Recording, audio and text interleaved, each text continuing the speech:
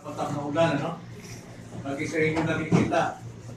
Pero bigyan ko ng pasensya sa inyo, talagang hindi ko kayang walang praise. Medyo masakit talaga. Kaya pa man, tayo po'y tumulo, tumuloy na sa ating pag-aato ngayong umaga. At tayo po samahan niyo kung buksan ang ating mga Biblia sa 1 Corinthians chapter 13. Babasahin natin ang verse 1 hanggang 3. 1 Corinthians 13 verses 1 to 3. Pagpapatuloy po natin ang ating series. Ito po ay ang marunong na akong umibig. Marunong na akong umibig. Kung ako'y magsalita ng mga wika ng mga tao ng mga anghel, subalit wala akong pag-ibig, ako'y nagiging isang maingay na pompyang o batingaw na umaalingaw-ngaw. At kung mayroon kong uh, kaloob na propesya at nanawaan ko ang lahat ng mga hiwaga at mga lahat ng mga kaalaman, at kung mayroon akong buong pananampalataya upang mapalipat ko ang mga bundok, ngunit wala akong pag-ibig, ako ay walang kabuluhan.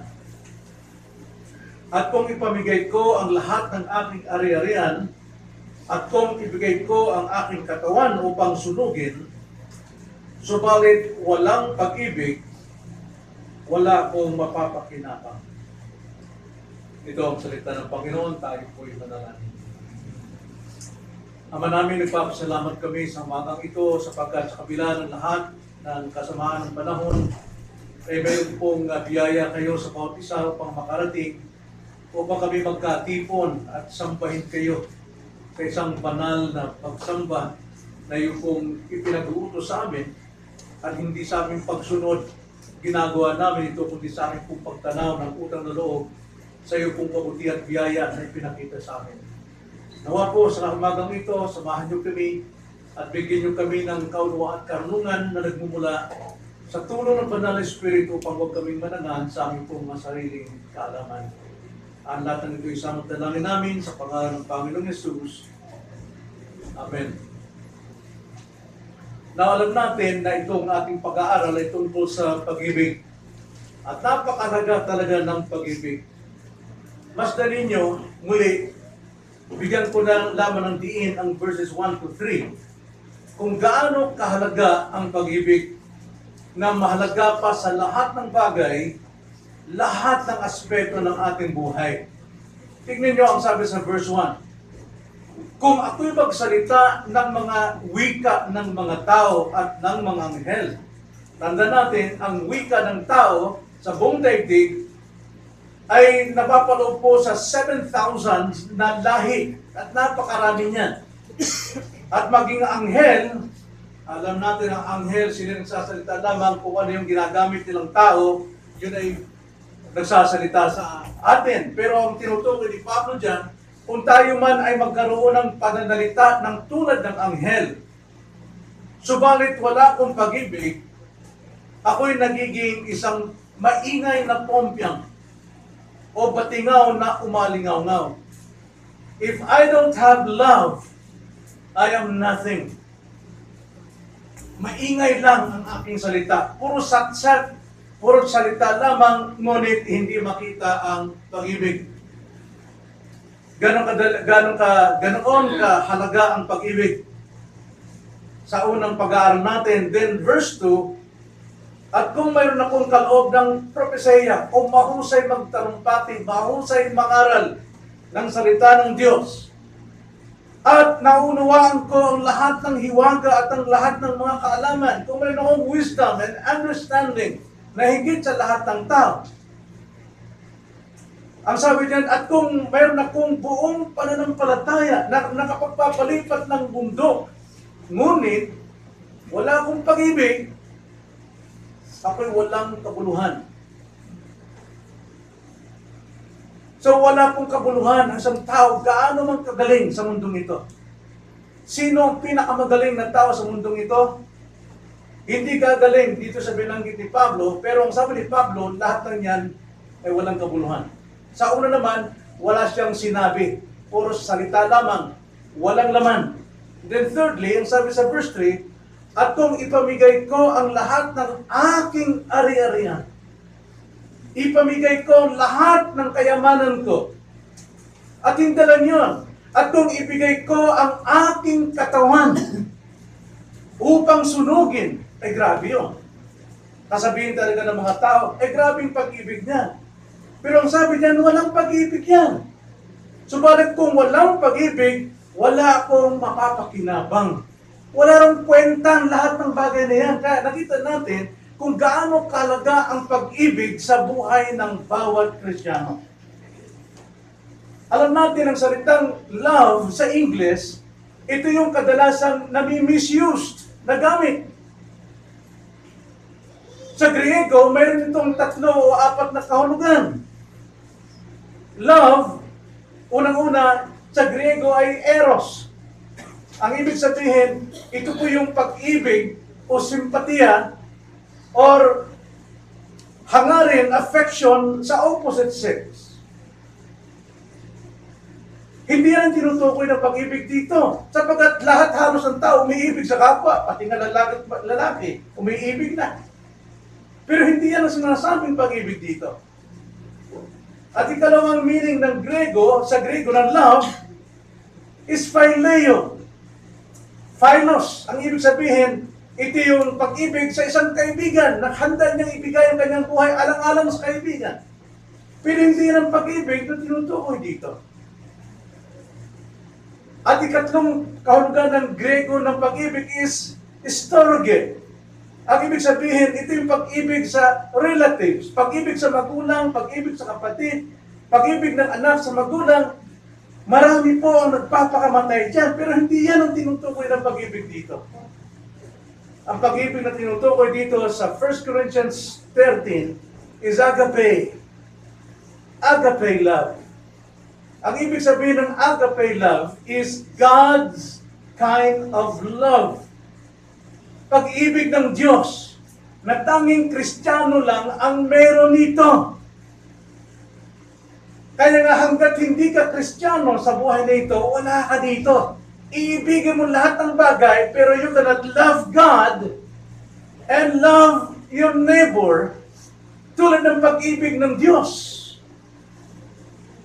Ang magiging pag-ibig natin is eros, philos, storge, but not agape. Kaya napakalaga pong ating alamin paano nakikita ang pagkakaiba ng pag-ibig nito sa isang Kristiyano. Sapagkat taglay natin ito, yung apat na kaulugan ng pag-ibig. Eros, Philos, Storge, and Agape. Paano natin malalaman yun? At ito po ang ating pag-aaral. Ito yung pangatlong verse. Yung pong pangalawa, sadya ko talagang pinagliban, kundi dumiretso na ako sa pangatlong verse. If I do not have love, ang sabi sa verse 1, I say nothing. Then second verse, if I don't have love, I am nothing. At ito naman pangatlo, if I do not have love, I profit nothing. Wala akong mapapakinabang. So yun po yung ating topic ngayon. Tema natin, kung walang pag-ibig, wala akong mapapakinabang. So, pero tanda natin na lahat ng tao ay maaaring umibig. At lahat ng tao ay maaaring umibig na may magagawa para sa kapwa-tao. Ano ang magagawa ng mga tao sa kanilang pag-ibig? Well, tignan natin ang tatlong bahagi rito. Una, kahit wala kang pag-ibig na tinutukoy ng Diyos dito, magagawa mong ipamigay ang iyong ari-arian. Maaari mong maibigay ang iyong kayamanan. Ang sabi sa ating text, at kung ipamigay ko ang lahat ng aking ari-arian. At kung nagpapahiwatig lamang, implied dito na pwedeng gawin ng isang tao na walang pag-ibig ang believers, hindi Kristiyano o Christian, eh maaari siyang makapamigay ng kanyang ari-arian but without love. Halimbawa, giving to the poor. Ang pagbibigay natin sa mga mahihirap is an act of praise by men. Nagbibigay tayo sa ating uh, mga pul- sa mga pulubi eh dahil ito'y gawa natin para tayo ay purihin. Para tayo ay hanga- hangaan. So ito pong salitang give, hindi lang ito salitang give, kundi ito'y intentional na salita. Ibig sabihin, niloob mong magbigay. Tulad ng itinuturo ni Pablo sa bandang huli, na dapat bawat Kristiyano ay may kusang loob na nagbibigay sa iglesia. Tulad ng ating ginagawa dito. Tayo po ay mayroong offering sa morning. Pero hindi tayo nakatutok dyan sa pera, sa offering. Kaya once lang tayo kumukuha ng offering o collection dahil yan po ay bahagi ng ating pagsamba.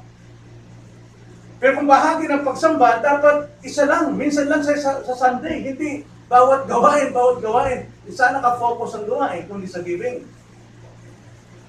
Pero sa Bible, kay Paul, once lang.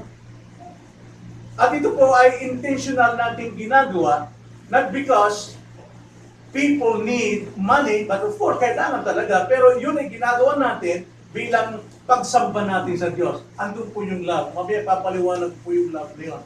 Ito ang sabi sa 1 Corinthians 16 verse 1. Ngayon tungkol sa ambagan, collection, para sa mga banal, ay gawin din ninyo gaya ng aking itinagubilin sa mga iglesia sa Galatia. So ito po yung giving dito ay para po sa mga banal.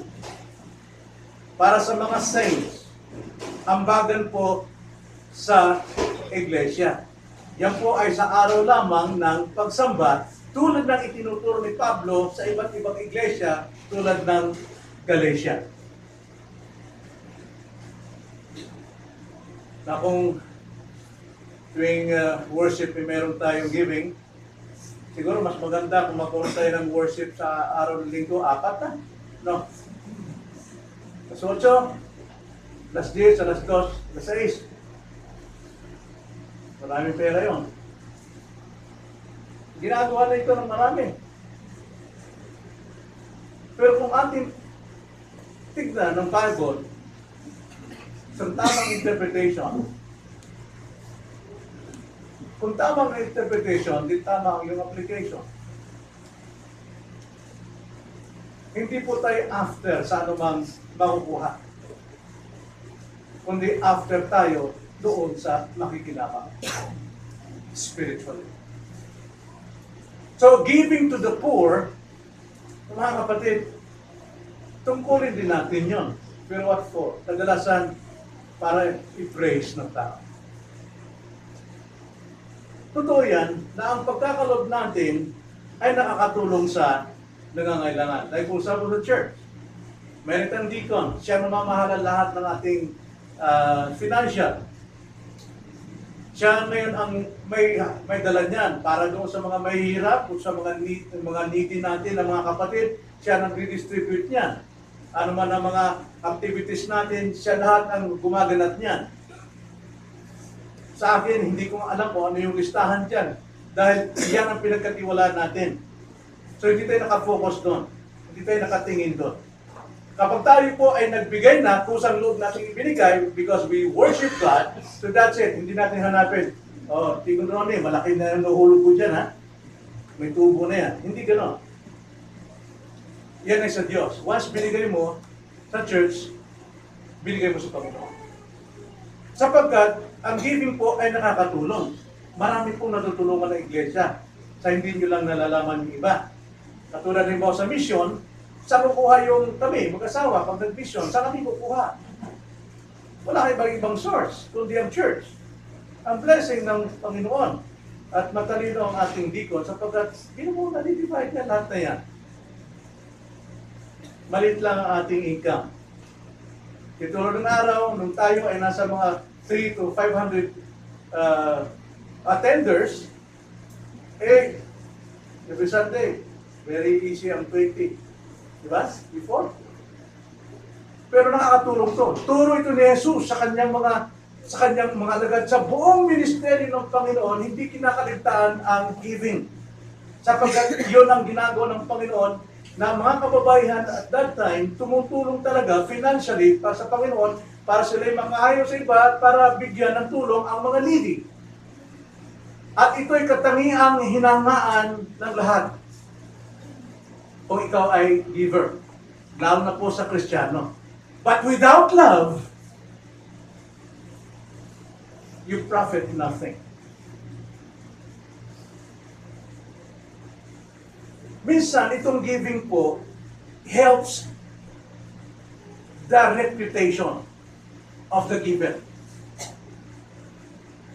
Kuminsan, marami pong nagbibigay dahil tinutulungan ang kanilang pangalan na may taas sa mata ng tao. Kapag napuri, kalahan mo yan, oh, yan, yan ang nagtayo ng building dito eh. Puring-puri talaga, buong Pilipinas, puring-puri yan. Hindi yan tinatawag na pag-ibig ng Diyos. Dahil tao ang nabibigyan ng kapurihan. Yung kanyang pagtulong ay tulong sa kanyang sariling pangalan.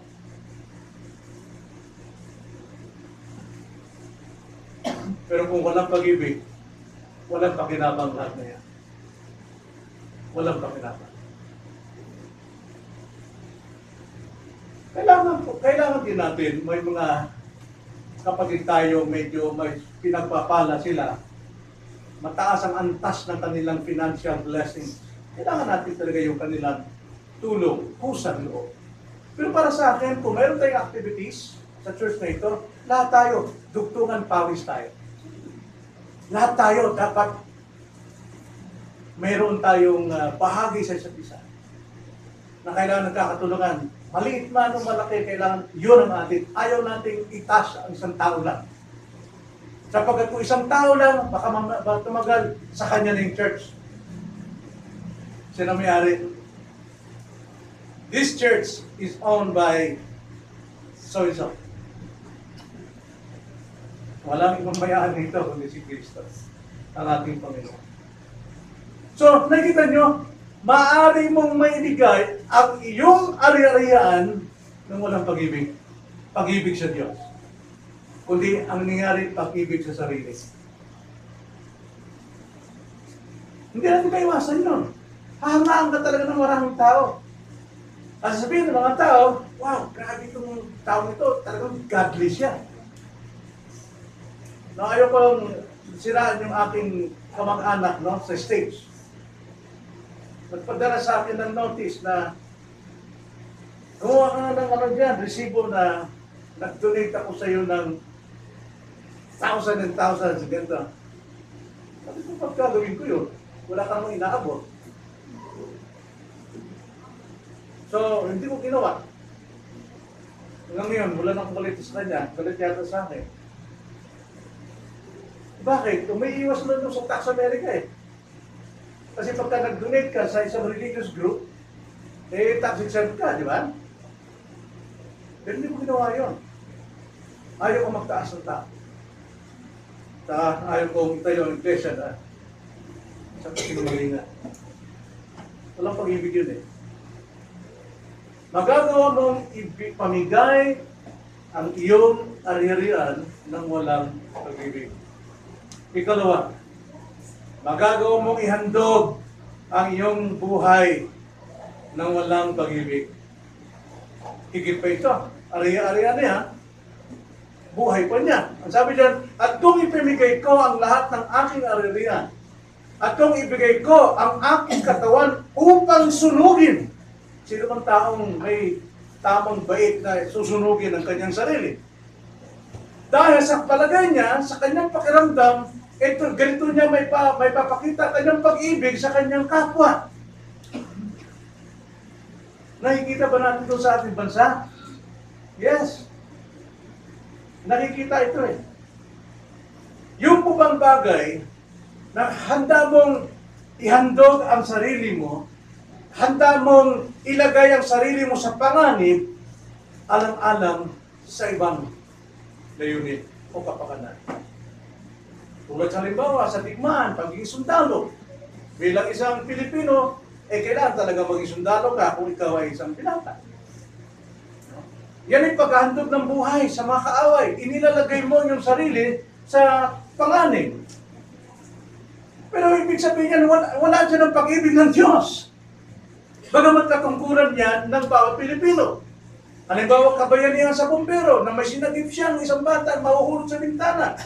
Masusunog. Isang kabayanihan yan. Pero hindi nangangahulugan, eh, dahil sa binigay mo yung sariling buhay mo doon, eh, meron kang pag-ibig. Kabayanihan yan. At marami tayong bayani. Mga national heroes natin, na talagang bayani sila, pero hindi nangangahulugan, taglay nilang pag-ibig na sinasabi ng Diyos. Pag-aalay ng buhay bilang martir sa relihiyon. Di ba? Saint Peregrine. Ay wala si Peregrine ako naging santo na yun. O si Victor Wood. Yung kasaysayan ni Saint Peregrine, alam niyo ba yung kasaysayan niya? Houseboy yun na napunta sa ibang bansa, tapos may gumawang mabuti, no? Sabi mo po, paniniwala nila na kapag ikay mamatay alang-alang sa Diyos, alang-alang kay Kristo, for the sake of Christ, then natanggap mo ang favor of God and you have that blessings. Pag ikay nagbigay ng ganitong buhay, alang-alang sa iyong paniniwala, eh ikaw ay talagang pinagpala at nasa iyong pabor ng Diyos. Kaya pwede kang panalanginan ng iyong kamag-anak para sa ganun, yung kabutiang ginawa mo ay mapasahan sila nang sa ganun sila naman ay makarating sa kanilang kalagayan. Ganyan ang mga saints. Bakit maraming nananalangin sa mga saints? Dahil sobra sila sa kanilang goodness. At sa magitan ng pray, ay mapasahan sila ng goodness, bagamat makasalanan, ay mababawas ang kasalanan ko, mapupunta ako sa kanyang kalagayan. That's how it is. Ito raw isang malaking pabor sa Diyos at pagpapala. Mas lumapit tayo sa nangyari sa ating panahon. Pag-aalay ng buhay para sa karapatang pangtao. Alam nyo na, hindi ko sabihin na. Maraming gumagawa niya. Para sa pagbabago ng gobyerno. Sa pagbabago ng ating lipunan. Mag-fasting tayo, maghapon. Huwag tayong tumigil. Abutin tayo sa linggo. Hanggang di natin kami nakamit ang pagbabago ng pamamalakat ng ating gobyerno. Let us fast and lie. Mahiga sa kasada, magpapakasagasa. Ginagawa yan. Inilalagay ang sarili sa panganib para lang pang karapatang pangtao. At marami nagpapasunog ng sarili dyan. Nabubuhos ng gasolina. Tapos may hawak-hawak na posporo, susunugin sa sarili niya. Yung mga tao naman, takulpan. Pangulong Duterte, hindi mas Duterte, wala pa kay Duterte niya. Kung sino pa pakinggan mo ang sinasabi nito. Pakinggan mo ito. So anong ginagawa niya? Handa siya magpasunog para lang makakuha ng attention. Maka, makaakit ng attention sa maraming tao sa, sa ganun ay maawa ang ating pamamanaan at makuha ang kasagutan ng problema ng ating bayan. What? But without love, that profit nothing. Wala po yan. Alam niyo ang pag-ibig na tinutukoy ng Diyos dito, simple lang. Hindi kailangan magsunog ka ng katawan. Hindi, hindi kailangan ibigay mo lahat ng iyong kayamanan. Hindi lang, nais ng Panginoon. Ang tanging nakakagawa lang ng pagbibigay ng kanyang sarili ng lahat ng pasakit, lahat ng pagpahirap at kamatayan sa krus, tayo si Kristo lamang, sapagkat tanging si Kristo lamang ang makapagbabago ng buhay ng tao sa kanyang ginawa. Siya lamang ang makapagbabago ng takbo ng buhay ng tao. So sikat na nating punto, magagawa ng lahat ng taong ito yung ating binanggit, wala kang totoong pag-ibig. Yan. Magagawa ng tao lahat yan nang walang totoong pag-ibig. Patignan natin ang ating text. At kung ipamigay ko ang lahat ng aking aririan, at kung ibigay ko ang aking katawan upang sunugin, subalit walang pag-ibig, wala akong mapapakinabang. Wala akong mapapakinabang. And though I bestow all my goods to feed the poor, and though I give my body to be burned, and have not love, I profits me, it profits me nothing. So kung ginagawa ko lahat ng ito na binanggit natin, magawa ko man ito para sa para hangaan ako ng tao, malagay ako sa mataas na estado at para sa pagbabago ng ating lipunan, ngunit wala akong pag-ibig, wala akong pakinabang doon. Na anong pakinabang ng pag-ibig? Ano ang makikita nating pagkakaiba sa pag-ibig na ito? Simple lang po ang pag-ibig na ito. Alam natin Romans 5.5. Ito'y binuo sa atin ng Diyos at magitan ng Espiritu Santo sa ating puso, mga puso. Diba sa nga po, please? Romans 5.5.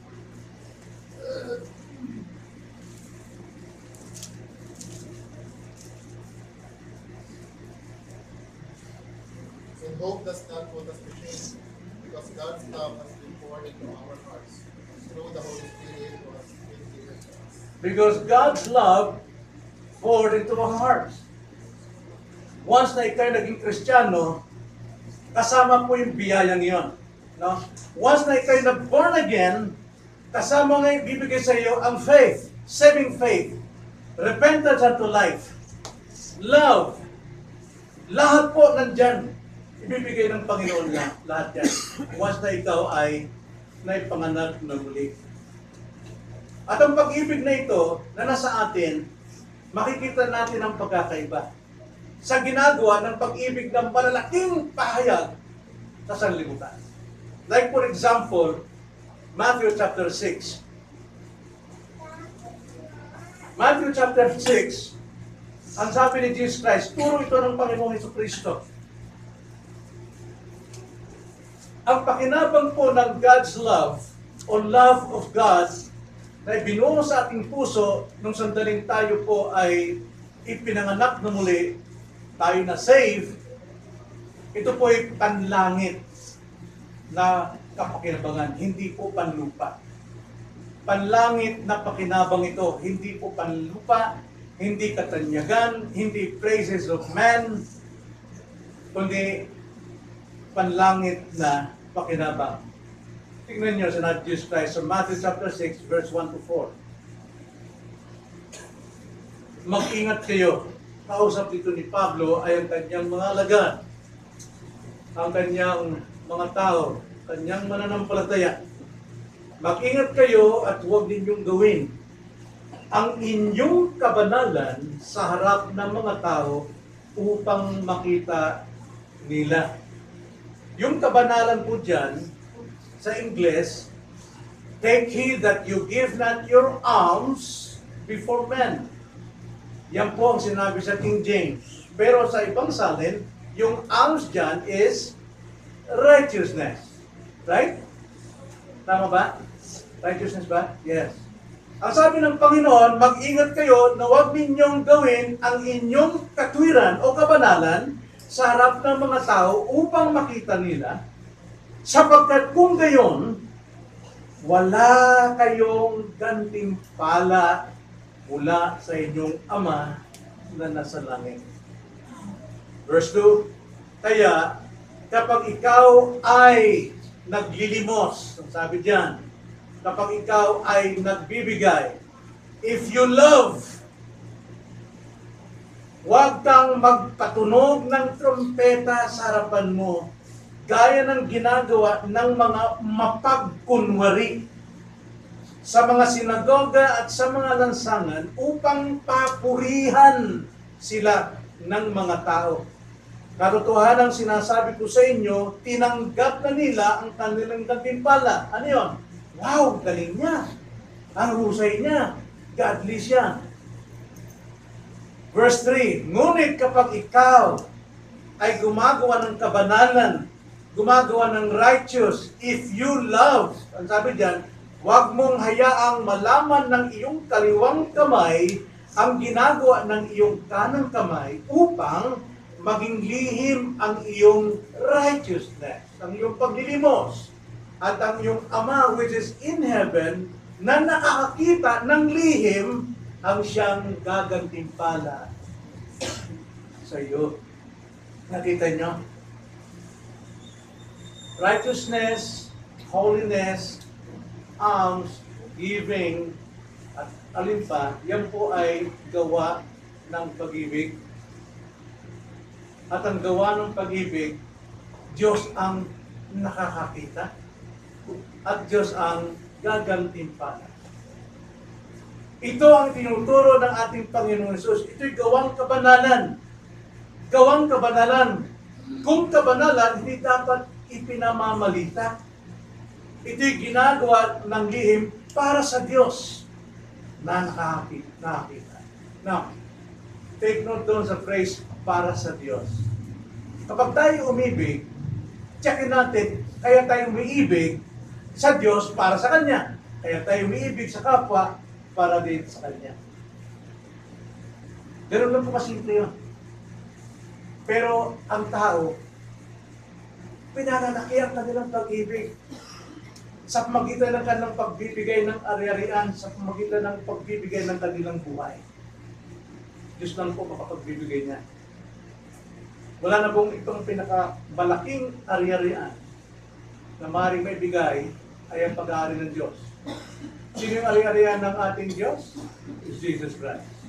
For God so loved the world that He gave His only, His only Son, that whoever believes in Him shall not perish, but have everlasting life. Nakita niyo yung kayamanan yon?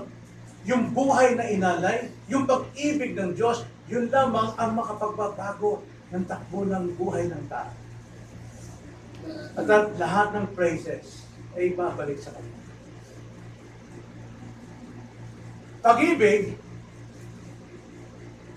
ay pag-ibig sa Diyos at pag-ibig sa kapwa. Pag umibig tayo sa kapwa, pwede kang mamigay, pwede kang magbahagi ng iyong katawan. But be sure, ginawa mo yon dahil sa pag-ibig ng Diyos na nasa iyo. Pag-ibig ng Diyos may pangako. Kung ating titignan ng 1 Corinthians 13 verse 8, tuloy natin, ano? Ang sabi dyan sa uh, verse 8, Love never fails. Yan ang pag-ibig. Kailanman, ang tunay na pag-ibig, kailanman hindi mabibigo. Hindi ka mismo mabibigo sa iyong sarili, hindi mo mabibigo ang iyong kapwa, at hindi mo mabibigo ang Diyos. Love never fails. At yan ang pangako ng totoong life. It will not fail the people you love. It will not fail your own self. And it will not fail your God. Pero kadalasan, ang pag-ibig na ito sa Diyos ay may problema. Pag-ibig natin sa Diyos at sa tao. Sapagkat, marami pong nagsasabi. Ang sinasabi ng tao ay parang darts, parang mga palaso na nagliliya, na kinukwestiyon lang, totoo bang sinabi ng yan? Kaya minsan, naglalamig ka dahil doon sa mga, mga ganitong question na ginagawa. Marami pong kaaway dyan. Sa totoo niyan, sila yung walang mga pag-ibig sa Diyos. Now, para po sa ating pagtatapos, madali pong mamigay, lalo na kung meron kayo. Madaling mamigay, lalo na kung mayroon ka. Kaya kadalasan, mataas ang tingin natin sa mga mayaman sapagkat napakadali lang dumukot para tulungan ka. But without love, that's nothing. Madali pong magbigay. Pero ang layunin para lang makapakita sa iba, malaman ng marami. Ano pa kinabang niyan? Kung may magbigay man sa iyo ngayon, Eh, tiyak, mayroon pang hihigit na magbigay sa iyo. Tingnan niyo mga politics. Isang issue tungkol sa bata lamang na nagpalutang ng bangkang papel. Nakita ng cameraman, sinukos, nakita ng pinakamataas na leader natin, binigyan ng kalugan, nakita ng ibang mga senador, nakita ng mga kongresista. Bakit sila ganun? Bakit nila pinagkaguluhan yun? Pero kita mo, wala nang pangako talaga eh. Pangalan lang. Ako nag-donate ako ng 1 million, nag-donate ng ganito. Walang pag-ibig. Ano pa kinapang yan? Ito na natin, Christian. Kapag kayo po'y tumutulong, dahil mayroon tayong pag-ibig sa Diyos. Mayroon yan. Ang pag-ibig na yun nasa, nasa atin. Ibinuo siya ng banal na Espiritu. Pero tandaan natin, mayroon din tayong likas sa pag-ibig. Tatlo yun. Eros, Philos, Storge. Dapat isa tabi yun. Yung pag-ibig ng Diyos ang ating ipailan. Kapag tumutulong tayo sa ating kapwa, dahil nais mong ipadama sa taong yon, sa pamamagitan mo, ng Diyos ay totoo para sa Kanya. Dapat niyang malaman, dapat niyang maramdaman, dapat niyang makita na ginagawa mo yon dahil gusto mong ipadama na ang Diyos ang umabot sa Kanya, na ang Diyos naghahangad sa Kanya, na si maligtas, na siya'y tumibay. Kaya na lang palagi kong sinasabing example, isang batang walang paa, tumingin doon sa mga, mga sapatos, nakatingin doon. Nangangarap siya. Isang pulubi lamang ito. Pero may lumapit na isang tao. Tinignan niyang bata. Ang sabi ng tao, gusto mo yung sapatos na yan? Sabi ng bata, tumingin siya na may pagkainis. Kita mo wala akong pa eh. Tapos umalis yung bata. Mamaya-maya hinabol siya noong lalaki. Hinanap yung bata. Pagkatapos, nakita niya yung bata. Narito yung sapatos na gusto mo. Ano sabi ng bata? Si Jesus ka ba? Anong gusto mo pa parating? Yung taong yun ang may pag-ibig. Doon sa bata. At ang pag-ibig hindi para mataas sa kanyang sarili, kundi ipadama sa bata ng taong talaga ay nakikilamay sa kanya. Kaya sabi ng bata, ikaw ba si Jesus? Now, ang nais ko pong dalhin dito, kung tayo tumutulong sa ating mga kapatid, halimbawa, isang nanay hindi maka-attend ng pagsamba, nalaman mo, dahil marami siyang mga trabaho sa bahay, hindi niya maiwanan. Paano mo mapapadama yung pag-ibig mo sa kanya? Tulungan mo siya. Tulungan mo siya, halimbawa, pamamalan siya para matapos yun sa ganun, siya po ay makarating sa pagsamba, mafe-feel niya na ang Panginoon tumulong sa kanya. Hindi layunin para malaman ng mga kapitbahay na ikaw Kristiyan at tinulungan mo siya. No.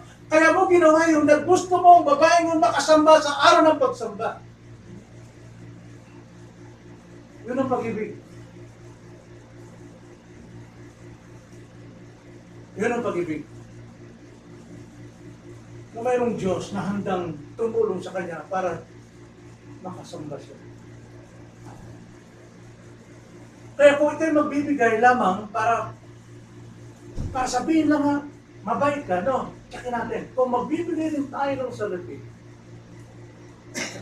o pera, ano man tulong natin, tsakin natin ang pag-ibig ang ating dinadala, pag-ibig ng Diyos. Nang layunin natin kaya natin sa bibigyan upang paginawain ang kanyang mabigat na problema nang sa ganoon siya rin po ay makasamba, siya rin po ay makapag, talaga makapagpuri sa Panginoon, may panahon siya para lumapit sa Diyos. Yun ang pag-ibig dun eh. For the sake of God. 1 Corinthians 10.31 Whether you eat or drink or whatever you do, do all for the glory of God.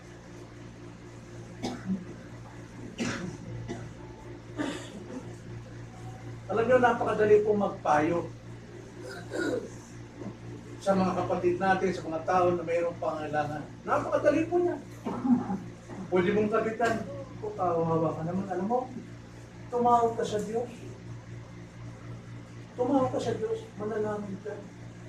Ang Diyos natin ay buhay. Mahabagi ng Diyos. Tumawag ka sa Kanya. Magpakalakas ka. Kumain ka ng maraming pagkain mga mga gulay para lumak- lumakas ang katawan mo. Magsuot ka ng magandang damit. Sige, gawin mo yan. Ngunit kung wala ka namang ibinibigay, anong silbi nun? Pag-ibig ba yun? Puro salsa? Puro salita? Anong silbi ng salita?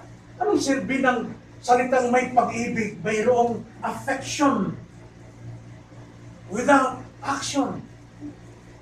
Ang sabi nga sa banal na kasulatan, ang pag-ibig ay hindi sa pamagitan ng salita lamang. Nagagawa ng lahat yan eh.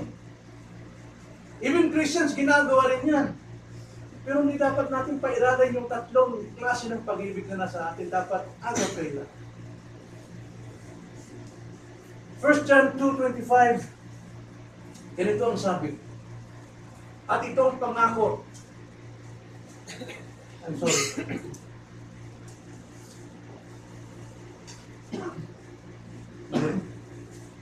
First John 3.18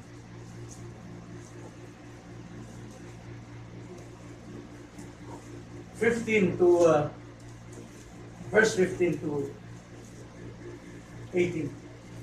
Kung ang isang kapatid na lalaki o babae ay namumuhay ng hubad at kinukulang sa pagkain araw-araw, at ang isa sa inyo ay magsabi sa kanila, Kumayo kayong payapa, magpainit kayo at magpakabusog.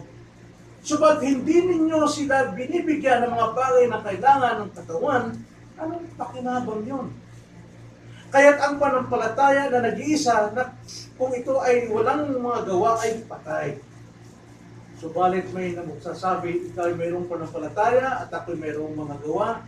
Ipakita mo sa akin ang iyong panampalataya na walang gawa at ipakita ko sa pamagitan ng aking mga gawa ang aking panampalataya. Sumasampalataya ka ng Diyos ay isa, mabuti yan. Congratulations. Mabuti ang iyong ginagawa. Ang mga demonyo man ay sumasampalataya at nanginginig pa. Even demons believe God. Nagagawa niya rin anong gusto ng Diyos, but without love. Kaya tulad lang ng ating panampalataya sa panampalataya ng isang demonyo. Kaya mga kapatid, sa magang ito, practice natin ang pag-ibig. May kahuluhan palagi. Huwag sa salita lang. Sa ikalitibay ng ating kapwa, if you preach, preach then. Nang layunin mo is to save people, to encourage people, to edify people, not to praise yourself. Kung ikaw ay mayroong gift of mercy, giver, then give to God. Hindi ka magbibigay para tulungan ng iyong reputation. Huwag mong ipaalam ang kanang ginawa mo sa iyong kaliwa. Ipaalam mo ito sa sikretong nakakaalam. Walang iba kundi ang Panginoon. Sabagat, ang love na mayroong tamang layunin, Matthew 6, verse 1,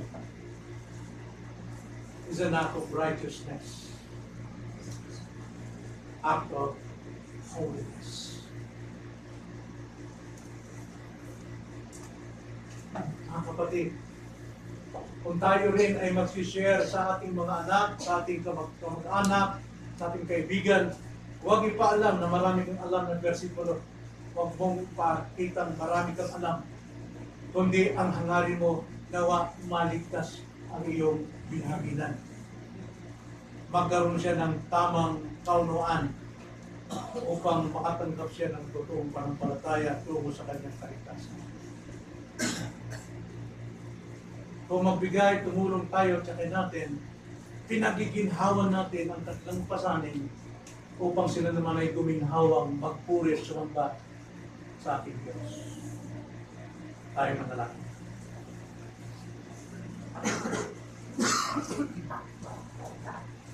O Panginoon, sa iyong pag-ibig, kami po ay nangaligtas. Sa iyong pag-ibig, inangat mo kami, hinugot mo na sa lusak ng kasalanan. Nawa nga po ang pag-ibig na ito na ibinuhos niyo sa aming mga puso ay makatulong kami sa mga nangangailangan na sila man ay amin ding hanguin sa kanilang kabigatan upang sila'y may ginhawang makalapit sa inyo, makapagtiwala sa inyo. Tulungan niyo kaming maging tagapagpatibay sa aming mga kapatid na bibigatan lubha sa kanilang kasalanan. Tulungan namin silang paginawain sa pamagitan ng pagbabahagi ng totoong ibanghelyo sa kanilang buhay upang sila'y lumapit sa inyo, magtiwala kay Kristo at magsisi ng kanilang kasalanan. Pagariin po ninyo ang pag-ibig na ito at ituro sa amin ano-ano po ang mga mukha ng pag-ibig na ito. Sa susunod po namin pag-aaral, makikita namin isa't isa, bawat isa, ang bawat facets ng love na ito na inyong ibinahagi sa akin. Tulungan niyo kaming tumibay, lumago sa tamang paglapat ng pag-ibig na ito. Aming dalangin sa pangalan ng Panginoon Jesus. Amen.